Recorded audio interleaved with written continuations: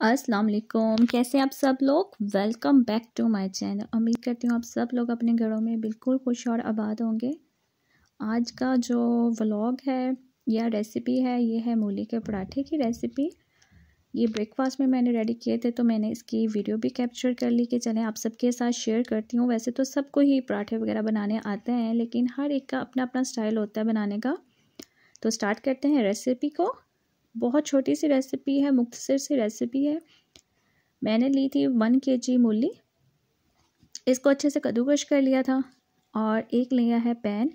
इसमें हमने दो से तीन टेबल स्पून देसी घी के ऐड करने हैं और जो हमने मूली कद्दूकश की हुई है, वो इसमें ऐड कर देनी है। साथ में जितने मसाला जात, नमक, मिर्च, हल्दी और नमक, मिर्च, हल्दी, ज़ीरा और धनिया ऐड कर देना है। ये ऐड करके हमने इसको इतने अच्छे से पकाना कि इसका पानी ड्राई हो जाए। ये देखें इसका पानी मुकम्मल तौर पर ड्राई हो चुका है। अब मैंने इसमें सब्ज़ धनिया और सब्ज़ मिर्चें बरीक काट के ऐड कर दी हैं। ये हमारे मसाले को हमने ज़रा ठंडा कर लेना है।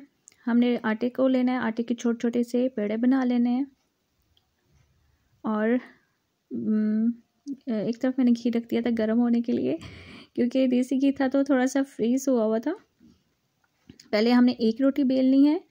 इसको अब हम रखेंगे साइड पे और दूसरा पेड़ा लेके उसकी भी रोटी बेल लेंगे। जो हमने रोटी बेली है, इसके ऊपर हम हल्का सा घी या ऑयल जो भी आप यूज़ करते हैं, वो ऐड करेंगे। और मूली की जो फिलिंग हमने रेडी की है, हम ये ऐड कर देंगे।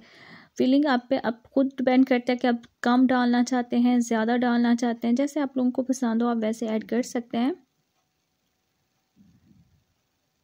आप लोग चाहें तो अजवाइन भी ऐड कर सकते हैं, अगर आपको अजवाइन का टेस्ट अच्छा लगता है तो आप अजवाइन भी ऐड कर सकते हैं।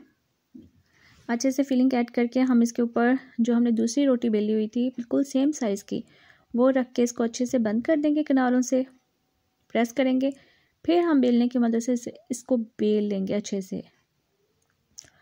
पराठा हमने बेल लिया अब हम इसको तवे पर डाल के फ्राई करेंगे। बिल्कुल गैस कम हो गई थी जब मैं रोटी बना रही थी, अभी फ़र्स्ट रोटी ही थी। तो गैस काफ़ी कम हो गई थी, गैस की लोड शेडिंग बहुत ज़्यादा हो रही है। सुबह टाइम में भी अगर गैस होती भी है तो काफ़ी प्रेशर कम होता है। ये थी इसकी फ़ाइनल लुक अगर आपको अच्छी लगी हो तो लाइक ज़रूर कीजिएगा। अल्लाह हाफिज़।